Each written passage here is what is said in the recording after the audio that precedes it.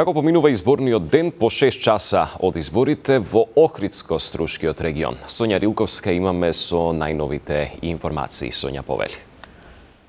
Да, се јавуваме од предопштина Охрид. Во Охрид изборниот процес, процес тече во мирна фери демократска атмосфера.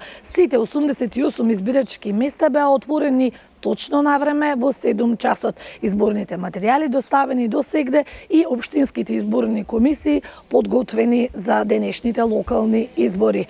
Инаку, до сега, до последниот пресек на Обштинската изборна комисија, во 10 часот утрово имаше излезност од 5%. Предлагам во продолжение да ја погледнеме изјавата на председателот на Обштинската изборна комисија Димитрије Евревезовски.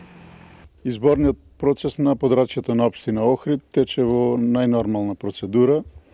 Излезноста е во рамки на очекуваното. До овој момент на гласачките места се излезени 2806 гласачи или во процент 5,3% од вкупно запишаните 52.858 избирачи. Инаку во општина Охрид се гласа на 88 избирачки места, а право на глас имаат вкупно 52.833 граѓани. Предлагам во продолжение да ја погледнеме анкетата кои се очекувањата на охриѓани од идните локални власти. Очекувањата се поголем стандард, вработување за младите. Точно за нормален живот не бараме ние не кујзен шо. Али она што ни е наше, то треба да ни го пружите.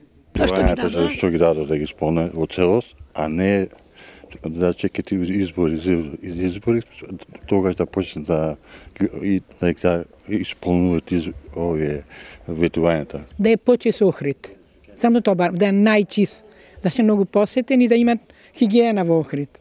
Не да молиме за контейнериве да ги чисте. Мислам оти хигиената е едно од главните прашања за кои што треба да се поведе сметка меѓутоа обработувањето по-актуелно од хигиената. Обработувањето е број по моје.